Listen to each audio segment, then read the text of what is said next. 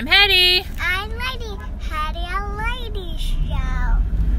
And yesterday was Thomas's B-Day party, so we went to the indoor playground and celebrated his birthday. Did you have fun, Lane? What kind of party was it? I don't know. P- We had a PJ Masks party. Yay! So we're going to insert a clip of party starting now. Your lover, so come ride with me to the distant shore. We won't hesitate to break down the garden gate.